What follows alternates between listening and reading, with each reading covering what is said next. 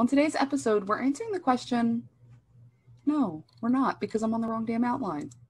So, um, so first step to monetizing your podcast is knowing that you can way before the gurus say you can. And I think this is what happened when I first got into podcasting. Um, I actually started a live stream show, started it. People started watching like like a thousand people every week would like watch our show and I was like freaking out. I'm like, oh, this is awesome. Uh, and then it turned into work. And then I was like, oh, there's a lot of work. Like, how do we make some money? And so I started down this rabbit trail of like trying to figure out like how do I monetize? How do I make money with my show? And every every podcast I listened to about monetization, every article I read, every blog, every video I watched was all like, yeah, you get to have 10,000 downloads an episode before you can make any money because you got to charge a small fee per 1,000 downloads, blah, blah, blah. And I'm like, there's no way this is ever going to work out for me. Um, so that was my first show. So I actually monetized it by selling it. So I sold my half to my co-host because uh, we couldn't agree on how to monetize it. And so uh, then I started another show and I monetized that show through networking. So it was a, a show really just based on business. And I would talk to other business owners and I owned a screen printing promotions company at the time. So that was all just networking relationship and then people go, "Oh, you podcast full time?" I'm like, "Dude, I wish, but I print T-shirts and promotional items." And then I would, they, you know, it'd be a network. So then they'd be like, "Oh man, well, you help me out. You promote my business. Now I'm going to, you know, help you out promote your business." Uh, then fast forward to the pandemic, all that went away. T-shirt business went away because I helped nonprofits build product tables. Big, big audiences went to no audiences, and Billy's business went to no business and then I just had to retool and think like, okay, what am I going to do? And it was really in that moment of sitting at my desk for 30 days, thousands and thousands of dollars of canceled orders that I just had to really be honest with myself and my family and say, what do, what do you want to do, man? Like now is the reset button. The world has hit the reset button. What do you want to do when you grow up? And it was, I want to make content. And I'd been fooling around with content for a couple of years, but I didn't know how to make a living from it. And so I decided that moment, like, I'm just going to do whatever I want. I'm going to break every rule, every blog, every article, every person who says I need a certain amount of audience. I'm just not going to listen to them. And I'm going to go out and I'm going to do something different. And so a friend of mine and I started a fishing podcast and we said, okay, we're going to do four episodes and then we're going to go pitch sponsors. And so that's what we did. We did four episodes. We had 400 total downloads, which was still amazing, by the way. Like 100 people listening to your shows, like, oh, wow, this is amazing. Um, so we realized like niche matters. So we niched down to the coast of North Carolina, saltwater. If it doesn't live in the salt, we don't talk about it inshore, offshore, near shore. And we interview guides along the coast of North Carolina. And so I went out and basically started talking to sponsors and said, look, I don't have a huge audience, but I have the right audience. And that was what really where this became a thing of mine for podcasters was you don't have to have the biggest audience, but you have to have a pure audience. So if I can go and say, hey, sure, you can put a billboard up that no one looks at because they're all staring at their cell phone at the red light and hope someone calls you. Or I have all these people that are your target audience listening to my voice who trust me, know me, like me, and trust me. And w- after four weeks, but will continue to do that for the next X amount of years. And I think that was the moment where, you know, I had this epiphany kind of like, man, I don't have to have a ginormous following. I just have to have the right people and and build this this relationship like be the middle person for this relationship between you know sponsor and listener or sponsor and watcher. And so that was that was really my first deal was a 10,000 plus dollar sponsorship deal uh, because we found the right sponsor for our show. And they've been with us for 115 episodes. So yeah that was my first way of doing a couple monetization things Mm.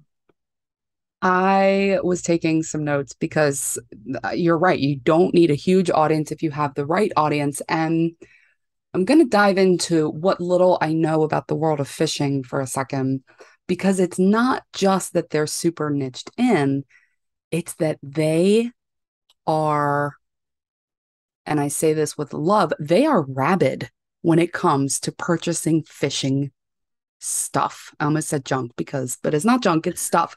it's it's hooks and it's lines and it's boats and it's gear and it's boxes and it's I don't know. That's all I got. I did, I think I've fished once in my life, but so what if your audience isn't as rabid as fishers or golfers? I'm trying to think, or um, dog people.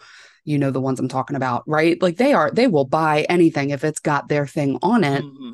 What if your audience isn't like that? Can you still get away with that smaller audience?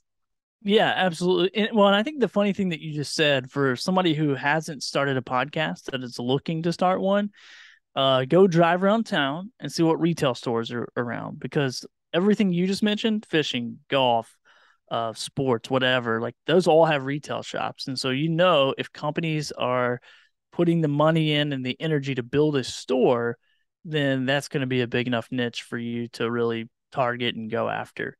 Um, but I think it's I think it's more like I said about the purity of the audience in everyone's different. The so the podcast industry may not be the biggest industry, but I make money through sponsorships through it because it's still valuable because those people are still spending money, they're still using services. It's still an industry, it's still a market.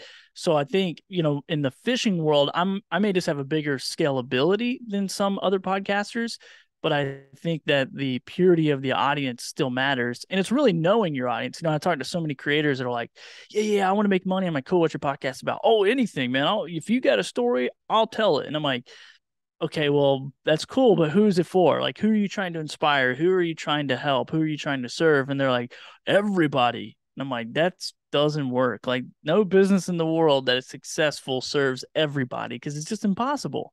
Like it's just impossible. And it's cool to have multiple layers of revenue streams, but you got to figure out who that target is. And so uh, I'm not I think any of these targets will work because I've monetized very small audiences through the knowledge of podcasting and spon- you know sponsorship through podcasting and live streaming uh, services, all that kind of stuff. I've had those companies write me checks because they understood like yeah, you might not have 10,000 of those people, but the two, 300 that you have are very valuable. And those are, you know, if they transact, then they're going to be a decent amount of revenue for our company every single, you know, month, week, year, whatever that looks like.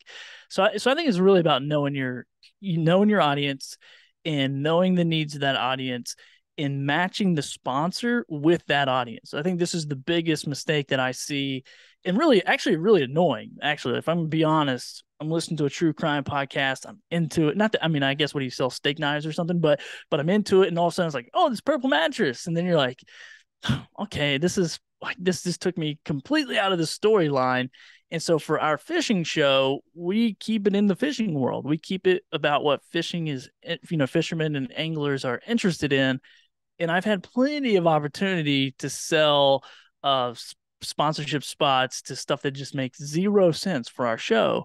But I don't want it to be a, a deterrent. I want that content to to seamlessly flow and be a part of our episode. Um, so yeah, it's knowing your audience and knowing those brands that can serve them really, really well. And I think the tighter that is, the longer that that relationship lasts. Hold on. No. because okay, so here's the thing. So apparently, I start every episode with okay, so. But Jennie called me out on it. Oh and no, now, now it's awkward. now I don't want to do it, but it screws me up because I don't know how to get into the flow without my okay, so.